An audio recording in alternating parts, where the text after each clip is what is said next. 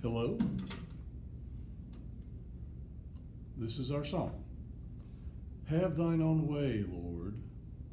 Have thine own way. Thou art the potter. I am the clay. Mold me and make me after thy will, while I am waiting, yielded and still. Have thine own way, Lord, have thine own way. Search me and try me, Master, today. Whiter than snow, Lord, wash me just now. As in thy presence, humbly I bow. Have thine own way, Lord, have thine own way hold over my being absolute sway. Fill with thy spirit till all shall see Christ only, always living in me. Amen.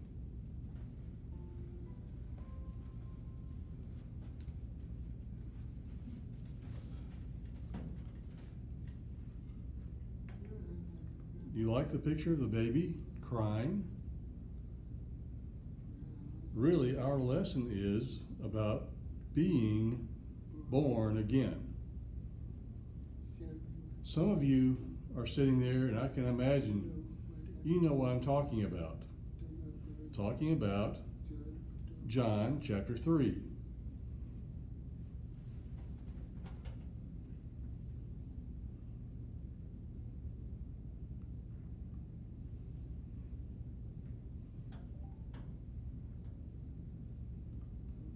When Jesus talked with Nicodemus, he talked about being born again. I will sign it, I will sign Nicodemus as Nicodemus at night. Why? Because Nicodemus came to see Jesus at night. So Nicodemus. It saves me from spelling it out every time.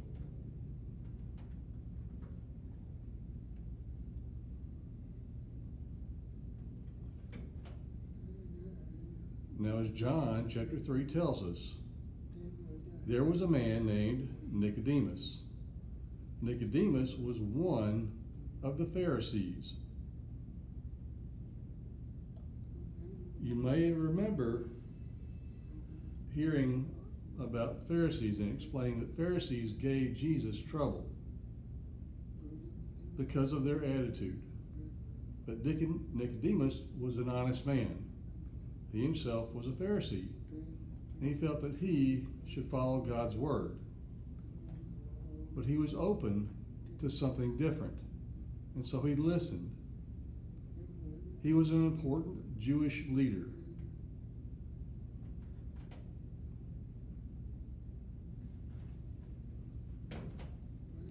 One night, Nicodemus came to Jesus. Why? We don't know. Some think that he was afraid of people seeing him. Maybe one reason, uh, but another reason could have been he had to work during the day and didn't have uh, any time until at night. So it's your, your guess is as good as mine. Nicodemus said, Rabbi. Rabbi means teacher.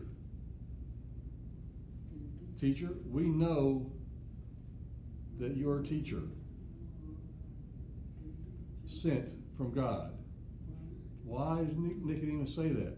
You notice what he says. No person can do these miracles that that you do without God's help. Nicodemus saw and he was impressed.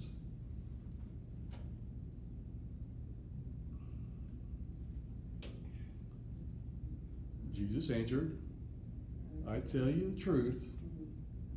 A person must be born again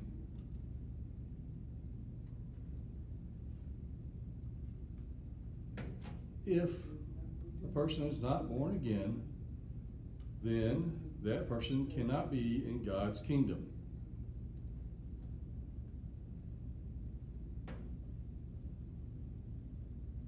Nicodemus was puzzled when Jesus said this.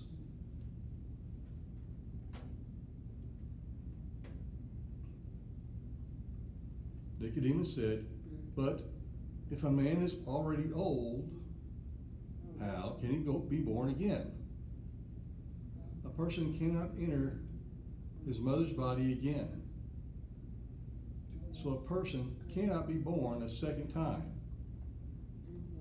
He was thinking about physical birth. Jesus wasn't talking about physical birth.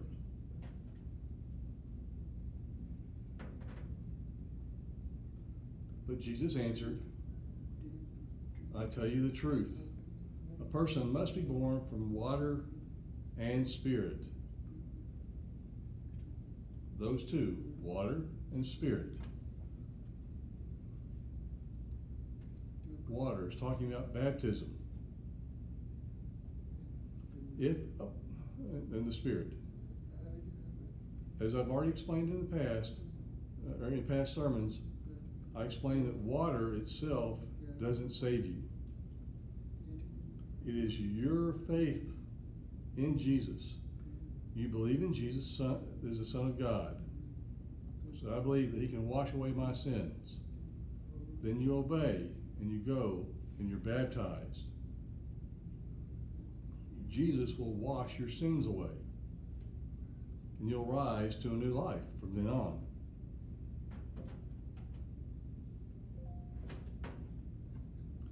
Now, here Jesus says, if a person is not born from water and the Spirit, then he cannot enter God's kingdom. It's uh, something serious to think about.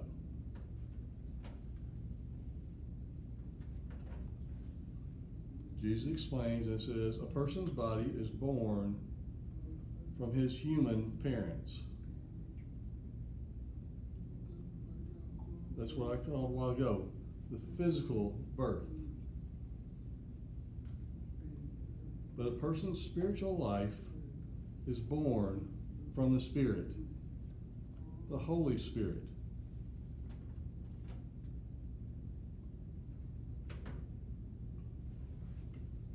Don't be surprised that I told you you must be born again. The wind blows where it wants to go. You hear the wind blow, but you don't know where the wind comes from or where the wind is going. You hear it. It is the same with every person that is born from the Spirit. You don't know about the Spirit and what He will do in your life.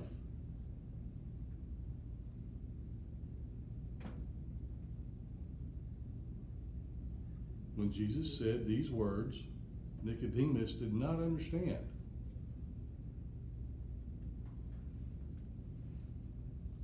Nicodemus asked, How can all this be possible?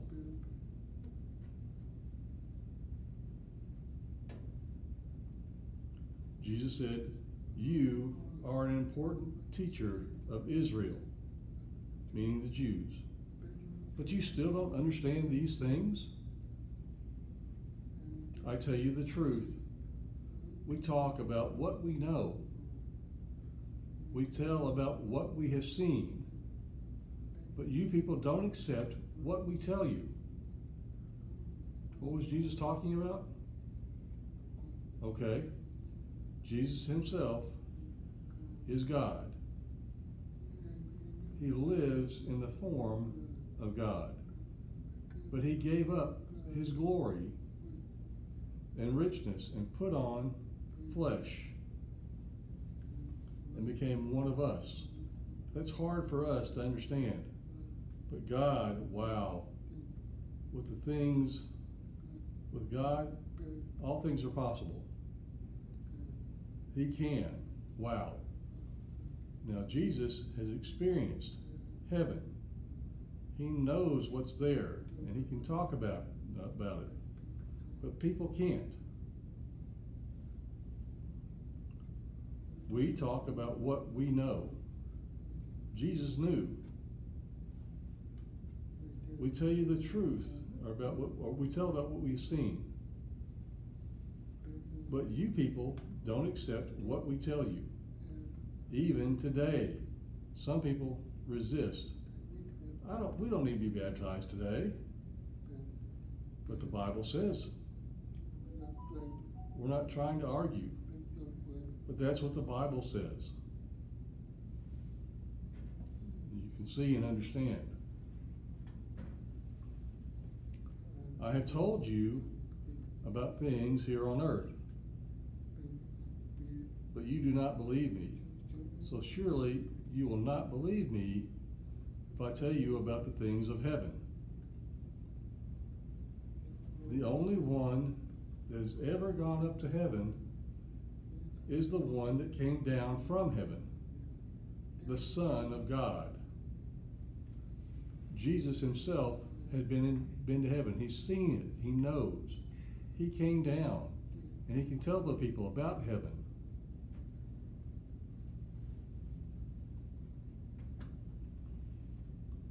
Now Jesus is talking about Moses in the Old Testament. He said, Moses lifted up the snake in the desert. It's the same with the Son of Man. You know, Jesus said, likes to call himself the Son of Man. Jesus is both Son of God and Son of Man. How? Jesus got his flesh from the Virgin Mary. He was born as a baby. So in that way, he's Son of Man. It was a woman, but now we're talking about mankind. So Jesus identifies himself with people here on earth. The Son of Man must be lifted up too. Then every person that believes in the Son of Man can have life forever. You don't understand, okay?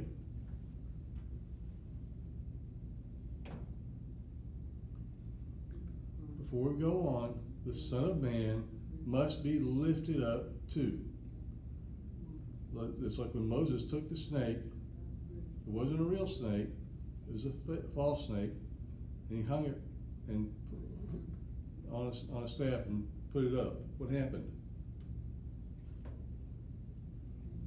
Then every person that believes in the Son of Man can have life forever.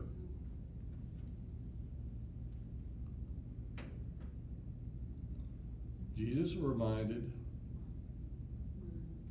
Nicodemus about the time Moses lifted up the brass snake when the Israelites were in the in the wilderness.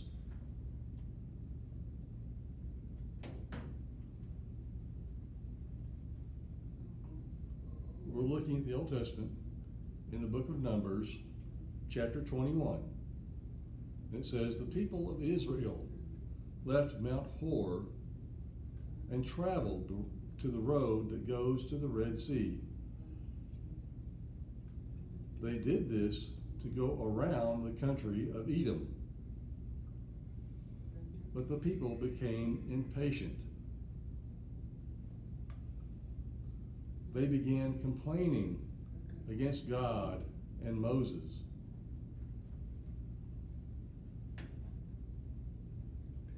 The people said, Why did you bring us out of Egypt? We will die here in the desert. There's no bread. There's no water. And we hate this terrible food.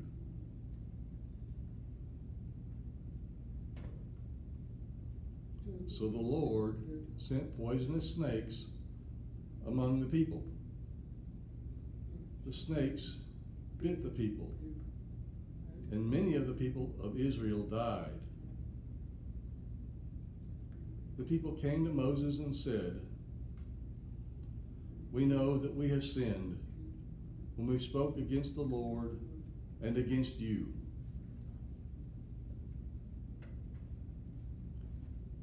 Pray to the Lord.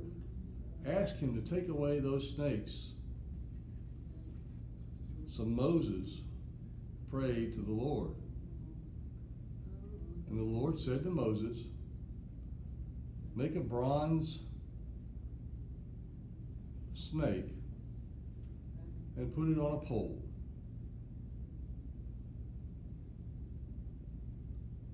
If any person is bitten by a snake, then that person should look at the bronze snake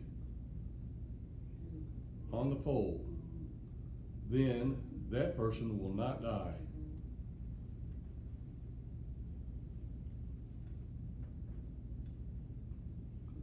So now, after Jesus reminded Nicodemus about the bronze snake, what did he tell Nicodemus?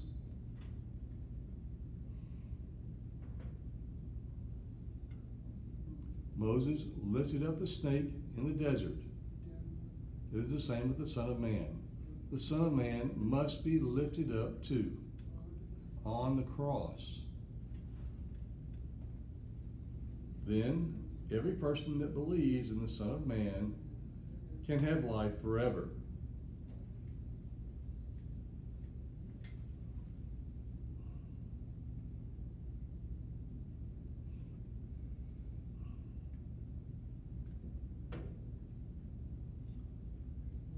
Some debate did Jesus say these words?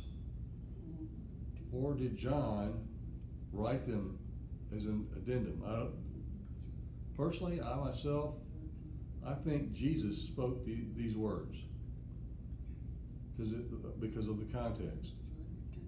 It's not that John suddenly wrote, stepped in and wrote those. Anyway, says, yes, God loved the world so much that he gave his only son. God gave his son so that every person that believes in him would not be lost, but have life forever. Maybe you noticed, yes, it's a little different from the King James, but it's still John 3:16 which many people love to quote. They read it and they're comforted. That's true. Maybe some of you have seen on TV in football games, some people hold up signs that say John 3:16. What are they talking about? So you look, you read it. That's the verse. It's a beautiful verse.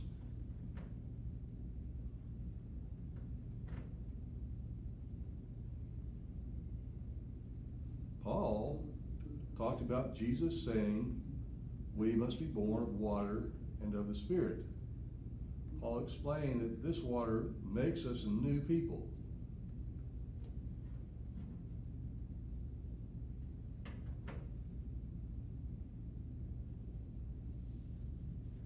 In Titus, that's the, pre- the young preacher that Paul sent letters to, he says, he saved, he, meaning God, saved us because of his mercy or love. You can't have mercy without love. Not because of the good things we did to be right with God. We try to be right with God. And we should ha- have that aim, yes. But that's not what saves us. He saved us through the washing that made us new people. So let's go back to the washing. The washing is baptism. He saved us by making us new through the Holy Spirit. When Peter talked to the people on Pentecost Day,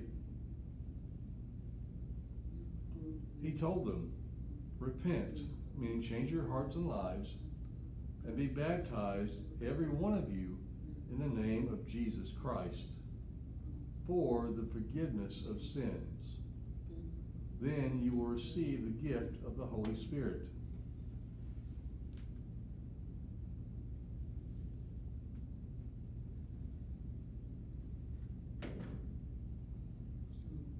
So when we were baptized, we were buried with Christ and shared his death. It's the same as Jesus dying on the cross. When we're buried, it's a symbol. We were buried with Christ so that we can be raised up and live a new life. This happened the same as Christ was raised from death by the wonderful power of the Father. God's power was enough to raise Jesus from death. He was beaten and whipped and put to death on the cross. Yet God, God's power made Jesus alive again. In the same way, God's power is enough to forgive uh, all our sins.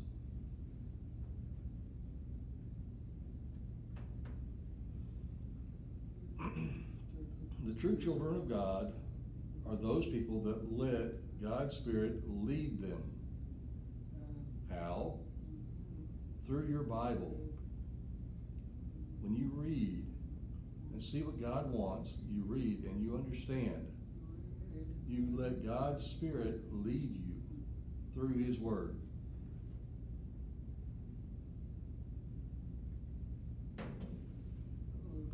I hope this short sermon helps you to understand the importance of believing in Jesus, the only Son of the Father, who died on the cross so that your sins can be forgiven.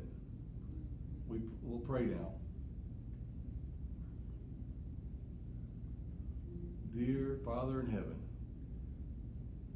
we thank you for your deep love that people can't understand. How you love even the most awful sinners and yet give them a chance that they can be saved and forgiven of their sins. We pray that those who hear this prayer those who are not Christians yet, not your children yet, that you that they will realize that they need to come to you and be saved. We pray that they will look and see Jesus on the cross and realize that he did it to save them, that they will go ahead and confess their faith and be baptized for the forgiveness of their sins and be raised to a new life from then on for you. We thank you for that wonderful news through, that Jesus brought us. We ask that those who hear me will do the same uh, way. They will pray. We pray in Jesus' name. Amen.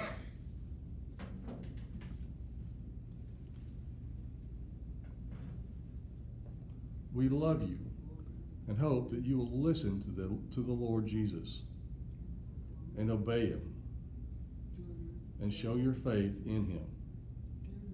It is not your good works that will save you, but his, meaning God's mercy, on you, his wonderful grace.